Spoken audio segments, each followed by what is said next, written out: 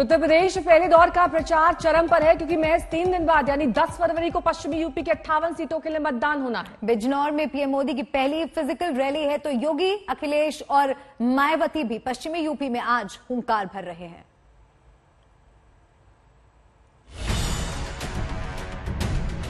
हमारे सपने में आए थे भगवान कृष्ण जी कह रहे थे आपकी सरकार बनने वाली है। अब सपने में भगवान कृष्ण की याद आने लगी। आपके शासन में केवल और केवल दंगे करने का काम हुआ। कब्रिस्तान की बाउंड्री बनाने वाले लोग आज उनको बोलने की आवश्यकता है। कब्रिस्तान से ही वोट भी ले लीजिए। भारतीय जनता पार्टी झांसा देती है। भारतीय जनता पार्टी झूठ बोलती है। भारतीय जनता पार्टी झगड़ा लगाती है। 10 फरवरी को अट्ठावन सीटों का संग्राम। वोटिंग का काउंटडाउन शुरू।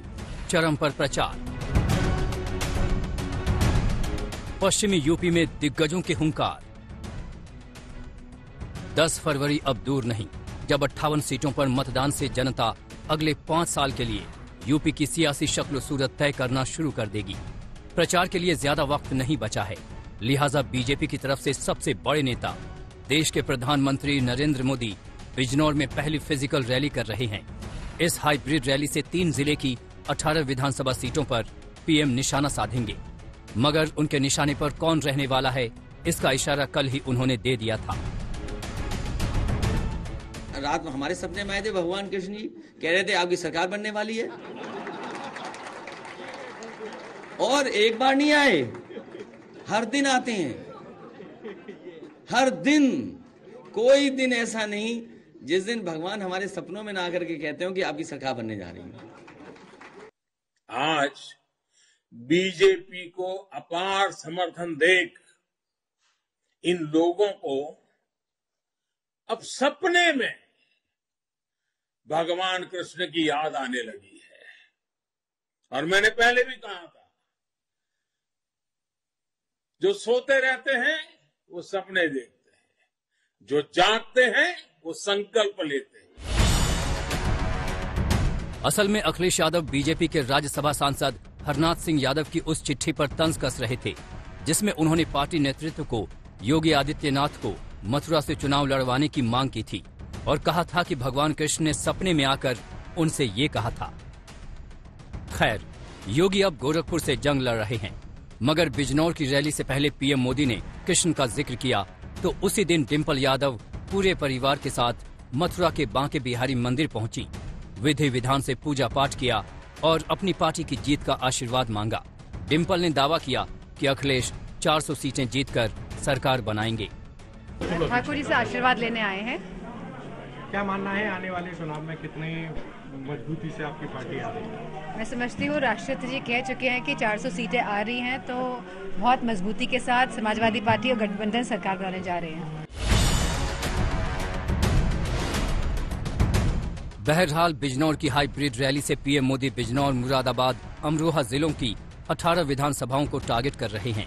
इसमें 1000 लोग स्थल पर मौजूद हैं, जबकि बाकी लोग वर्चुअली जुड़ रहे हैं। रैली का प्रसारण बिजनौर से किया जा रहा है। इसके ज़रिए दूसरे चरण की तीन जिलों की 21 विधानसभा सीटों में वर्चुअल रैली का प्रसारण एलईडी स्क्रीन से दिखाया जा रहा है। वहीं आपको बता दें कि पहले चरण के मतदान से पहले बीजेपी और दूसरे दलों के नेता पश्चिमी यूपी के अलग अलग जिलों में प्रचार युद्ध को आगे बढ़ा रहे हैं। सीएम योगी बिजनौर में पीएम की सभा के बाद मुजफ्फरनगर के बुढ़ाना और खतौली में रैली करेंगे। इसके बाद मेरठ में भी उनकी जनसभा है। वहीं अखिलेश यादव आज दोपहर 12 बजे सहारनपुर में प्रेस कॉन्फ्रेंस करेंगे और पार्टी कार्यकर्ताओं से मिलेंगे। वहीं मायावती बरेली में रैली करेंगी। पश्चिमी यूपी में बीजेपी का रिकॉर्ड 2014 से लेकर 2017 और 2019 में शानदार रहा है। किसान आंदोलन के बाद अखिलेश जैन के गठबंधन से बीजेपी को चुनौती मिल रही है। लिहाजा पहले दौर की वोटिंग से पहले बीजेपी ने पूरी ताकत झोंक दी है। बिजनौर से संजीव शर्मा, अलीगढ़ से अकरम खान और अमरोहा से बीएस आर्या के साथ आज तक ब्यूरो।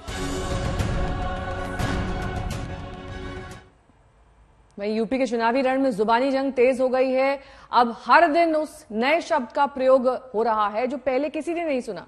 सीएम योगी ने कब्रिस्तान का ज़िक्र किया तो अखिलेश यादव ने वोडका की फैक्ट्री पर सब्सिडी का वादा किया। मंच पर अखिलेश के सामने एक नेता का दूसरे को तमाचा दिखाना भी चर्चा में है।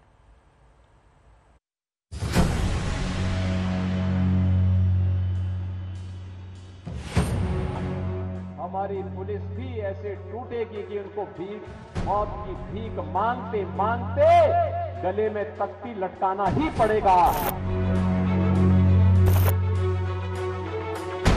मुजफ्फरनगर में कर और सचिन जैसे निर्दोष नौजवान वाहन की रक्षा करते करते अपने आप को बलिदान नहीं कर पाते। बताओ आलू से वटका बन सकता है, शराब बन सकती कि नहीं बन सकती? भाई हम इनसे पूछ लें क्योंकि ये पढ़े लिखे हमारी तो पढ़ाई भूल गए हम।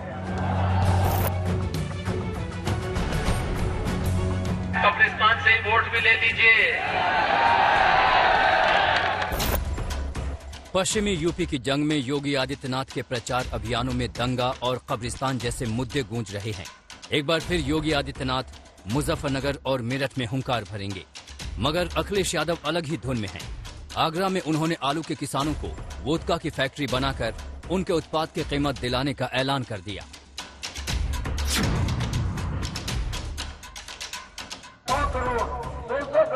सब्सिडी देनी पड़ेगी तो देने का काम करेंगे और साथ ही साथ वोडका को लेकर भी अगर कोई यहाँ से लेकर के कन्नौज तक कोई कारखाना लगाने आएगा तो उसे भी सब्सिडी, चाहे हमें 200 करोड़ देनी पड़े, हम देने का काम करेंगे।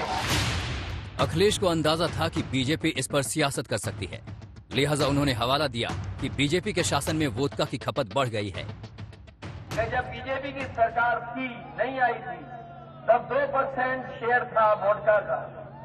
लेकिन जैसे ही भारतीय जनता पार्टी की सरकार आई अब शेयर बढ़कर के न जाने कहाँ पहुँच गया मार्केट में। उधर अलीगढ़ में सीएम योगी आदित्यनाथ ने फिर से कब्रिस्तान का मुद्दा उठाते हुए अखिलेश पर नए सिरे से हमला बोला है। काम किया था उन्होंने। कब्रिस्तान की बाउंड्री भाइयों बहनों ये कब्रिस्तान की बाउंड्री बनाने वाले लोग आज उनको बोलने की आवश्यकता है। कब्रिस्तान से ही वोट भी ले लीजिए। दूसरी तरफ़ अखिलेश यादव अब भी चुनावी रैलियों में। योगी आदित्यनाथ के गर्मी उतार देने वाले बयान का जवाब नए नए अंदाज में दे रहे हैं। बाबा मुख्यमंत्री जो कह रहे हैं कि हम गर्मी निकाल देंगे, हम उन बाबा मुख्यमंत्री को कहना चाहते हैं, गर्मी निकले ना निकले, लेकिन समाजवादी सरकार आएगी तो भर्ती निकलेगी, चाहे हमें फौज में भर्ती वहीं अखिलेश यादव पर बीजेपी चौतरफा हमला बोल रही है। योगी ही नहीं गृह मंत्री अमित शाह भी हमलावर हैं। अमरोहा में वैक्सीन को लेकर शाह ने अखिलेश पर कटाक्ष किया। ये अखिलेश कहते थे ये तो मोदी टीका है मैं नहीं लगाऊँगा आप भी मत लगाइए। मित्रों एक महीने तक तो बोलते रहे बाद में डर के मारे दुमक कर टीका लगा दिया उन्होंने।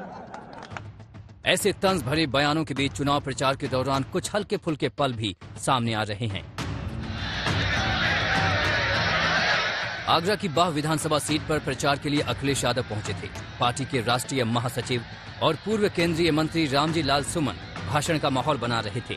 इस बीच भीड़ जहाँ शोर कर रही थी, वहीं जिला अध्यक्ष जितेंद्र वर्मा लगातार अखिलेश यादव से बातचीत कर रहे थे।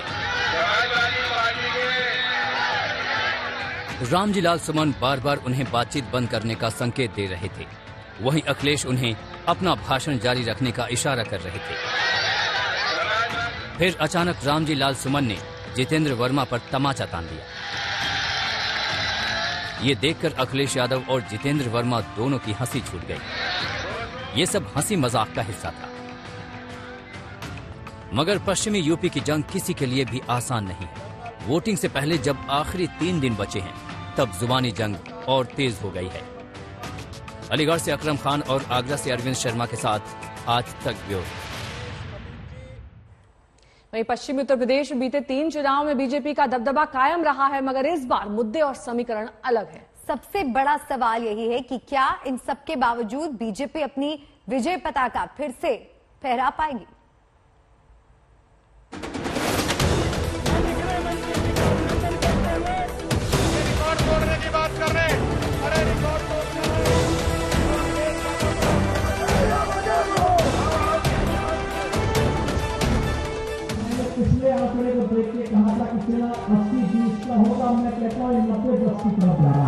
पश्चिम में भारतीय जनता पार्टी का सूरज हमेशा के लिए डूब जाएगा। अंतिम दौर में है पहले दौर का प्रचार। पीएम मोदी, योगी आदित्यनाथ, अखिलेश जयंत की जोड़ी और मायावती के साथ ही प्रियंका गांधी भी पूरा ज़ोर लगा रही हैं। 10 फरवरी को पश्चिमी यूपी की अट्ठावन सीटों पर वोट डाले जाएँगे। शामली, मुजफ्फरनगर, बागपत, मेरठ, गाजियाबाद गौतम बुद्ध नगर हापुड़, बुलंदशहर अहम ज़िले हैं। इस बार मुकाबला दिलचस्प है, क्योंकि इस बार किसी के भी पक्ष में कोई लहर नहीं चल रही है। कुछ विधानसभा सीटों को छोड़कर ज़्यादातर सीटों पर कांटे की टक्कर है। सभी दल अपनी अपनी जीत का दावा कर रहे हैं, मगर वोटर के मूड को भांपना इस बार आसान नहीं है। डबल डोज ले रही है, चुनाव तक आते आते यह पहुंचेगा, मैंने पिछले आंकड़े को देख के कहा था कि चुनाव अस्सी बीस का होगा। मैं कहता हूँ, नब्बे दस की तरफ़ जा रहा है। चरण से ही भारतीय जनता पार्टी की हवा खराब हो रही है। और तीन आते आते भारतीय जनता पार्टी का पता नहीं लगेगा। पश्चिम से शुरुआत हो रही है। पश्चिम में भारतीय जनता पार्टी का सूरज हमेशा के लिए डूब जाएगा। मैं सारे राजनीतिक दलों से और नेताओं से आग्रह कर रही हूँ। इनकी बात करिए जनता की बात करिए। ये चुनाव ये चर्बी और पता नहीं गर्मी और चर्बी की बात नहीं है इस चुनाव में। और बाहुबली। इस चुनाव में आपको भर्ती की बात करना चाहिए करनी चाहिए। चुनावी मैदान में बीजेपी समाजवादी आरएलडी गठबंधन कांग्रेस और बीएसपी हैं, तो वहीं ओवैसी और चंद्रशेखर आज़ाद भी मैदान में हैं। मगर ये किसी न किसी का खेल बिगाड़ते दिख रहे हैं। वैसे पश्चिमी यूपी में अधिकांश सीटों पर जीत का समीकरण या तो जाट मुस्लिम गठजोड़ से बनता है या धार्मिक आधार पर वोटों के बंटने से। 2017 की बात करें तो जिन अट्ठावन सीटों पर इस दफ़ा पहले चरण में वोट पड़ेंगे, उनमें से तिरपन पर बीजेपी ने जीत दर्ज की थी। एसपी और बीएसपी के खाते में दो दो सीटें गई थीं। वहीं आरएलडी का एक उम्मीदवार जीता था, जो बाद में बीजेपी में शामिल हो गया था। इस बार किसान आंदोलन और लखीमपुर खीरी कांड जैसे मुद्दे हावी हैं, तो बीजेपी मुजफ्फरनगर दंगों और कानून व्यवस्था को बड़ा मुद्दा बनाकर वोट मांग रही है। 10 फरवरी को वोटर किन मुद्दों को अहमियत देते हैं और किन्हें खारिज करते हैं यही अट्ठावन सीटों का भविष्य तय करेगा। आज तक ब्यूरो।